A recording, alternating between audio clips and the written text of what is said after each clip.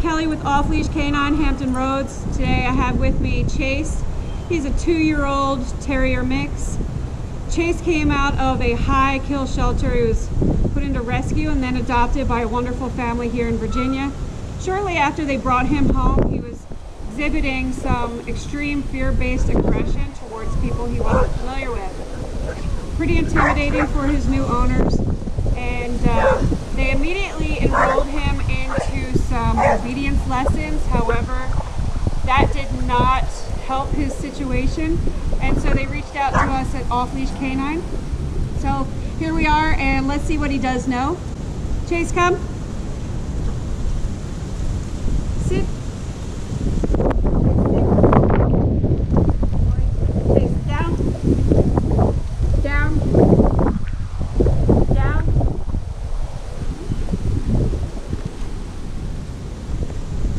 Chase, heel. Heel. Heel. Heel. Heel. Come. Come. All right. So we have quite a few things to work on. Check back with us in two weeks for his amazing transformation. Let's go, Chase.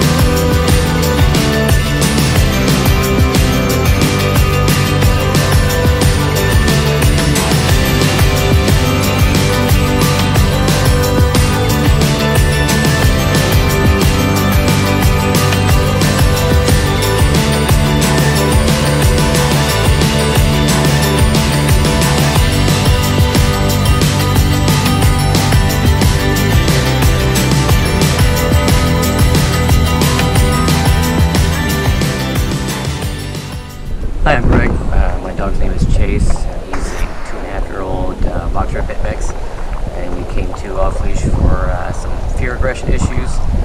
And uh, we just did a turnover, and I'm ecstatic to say he is doing much better, and he is great even off leash now, uh, to some extent, obviously. um, but no, he's just I'm just amazed with the transformation he's, he's made. guys, Josh Wilson with Off Leash Canine Training. I hope you enjoyed another amazing dog put out by my team. Uh, across the country, we don't care about the breed, the size, the age, or the behavioral issue. We're going to make them awesome for you. If you're interested in seeing more videos like the one you just saw, click the image here on the screen. Also, I'd encourage you to check us out on Instagram and Facebook. And before you leave our channel, make sure you subscribe. So every time a new video comes up of another outstanding dog doing some crazy, amazing things, you're going to get notified in your email address. And for more information on other locations we have around the country, check us out at joshwilson.dog. Appreciate you so much for watching our channel. See you soon.